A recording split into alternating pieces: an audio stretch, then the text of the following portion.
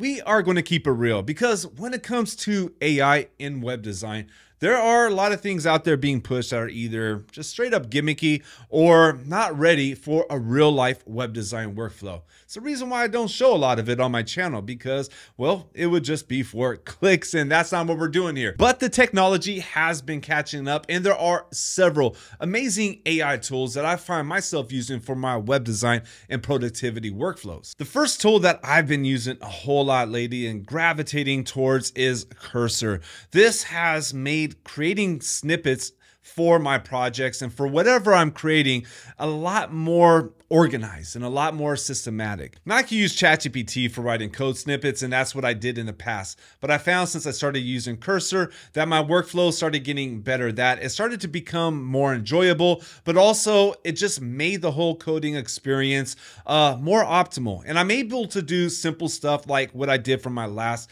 video here, where I'm able to just upload an image for say a reviews widget ask it to write the HTML and CSS for me, and it spits it out flawlessly. And then I have my HTML and CSS files already created. And that's for something simple. We could also do something more advanced, like creating plugins for WordPress, which right now I am working on I'm experimenting, having fun, just creating things that are way more advanced than what I normally would create when I'm coding. So keep an eye out for WordPress plugins being created with Cursor, video coming soon. And next up is Google AI Studio. And I'm really surprised that I'm not seeing this everywhere.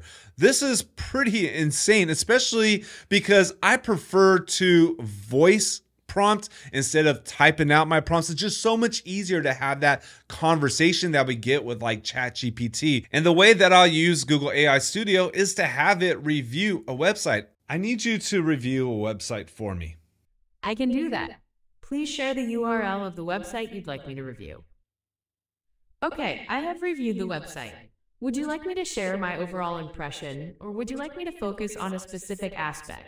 Send it a web page. You could send it a link and you could ask for feedback. You could ask to give it direction. And it's just a way to have an extra set of eyes on your website letting you know some ideas, letting you know if something is wrong and needs to be fixed, and giving you some direction. Next on my list is Zapier. And also, I got to throw in Sure Triggers or what is now rebranded as OttoKit. And that is because, well, creating workflows and automations, this is a really big part of what I do. And also, what we could be doing for our clients, connecting their CRMs to their websites, to their Slacks, to their emails. Well, there's just a lot that we could do. But Using Zapier's AI, I found it to be super easy and about two out of three times it'll get the actual zap done right, saving me a whole lot of time. Like this, I'll go ahead and paste in a prompt go ahead and spin it up. And now it's going to create that workflow with me and then we could work with it. It just saves a whole lot of time and sometimes cuts out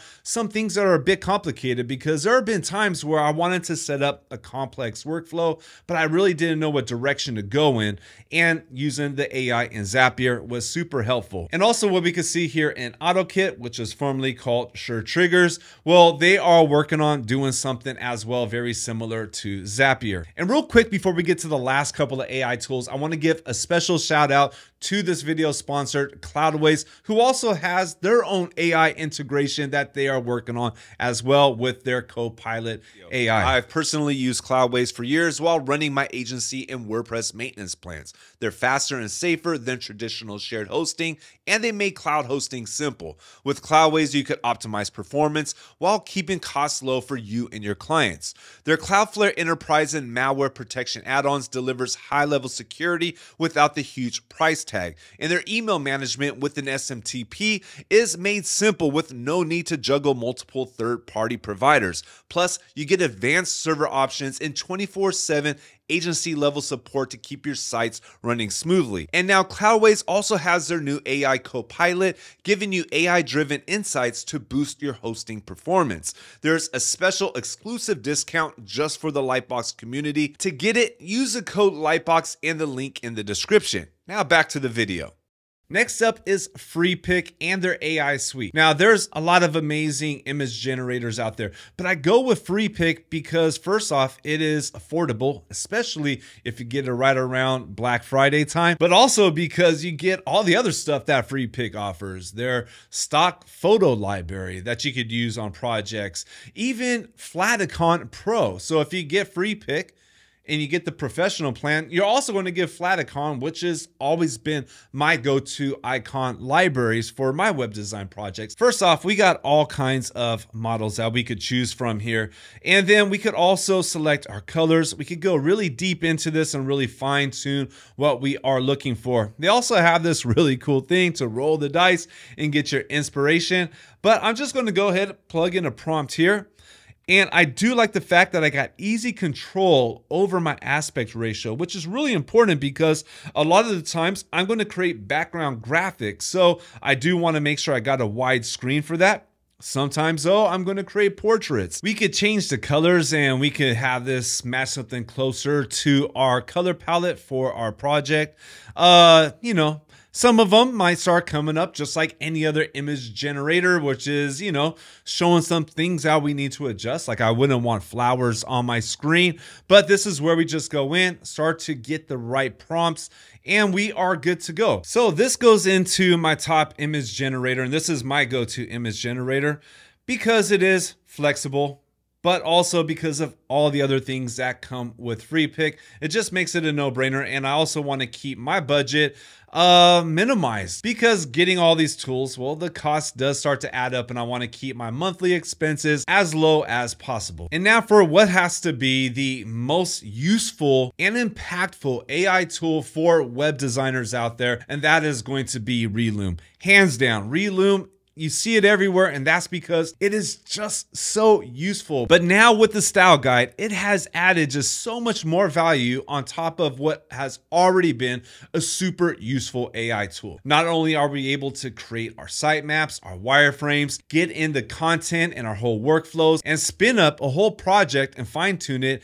in less than an hour, something that could have taken a couple of days before.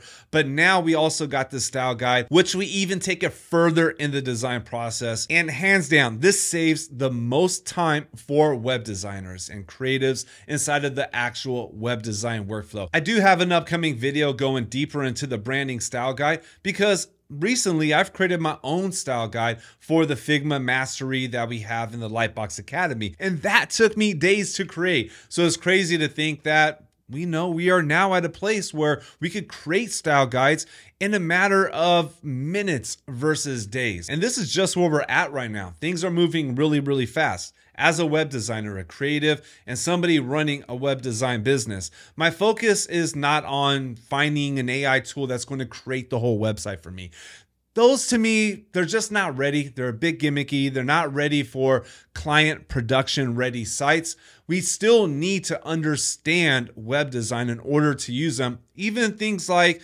cursor. You still need to know some code to use it, but the point of it is to save time, to cut out not just hours, but days of the processes that we normally would be working in. Now, these are just a few of them. There are more that I'm still testing out right now. I'm eagerly waiting for Manus AI. There's still Bolt, there's still Replit. There's amazing tools out there, and more amazing tools are coming out. I want to hear from you though. What AI tools have you found most useful for your own web design workflows? What do you find helps you out? Not just with creating websites, but just running your whole web design business, working with clients, and just speeding along your processes, saving you valuable time. Let us know inside of the comments. This way we could all check it out, geek out on the tools, and find what is working for each other. Well, that is it for this video. If you did find value in this, then you know that good YouTube stuff, like and subscribe. It does help to support the channel, and I really do appreciate your support. Thank you for watching. I'll see you in the next one.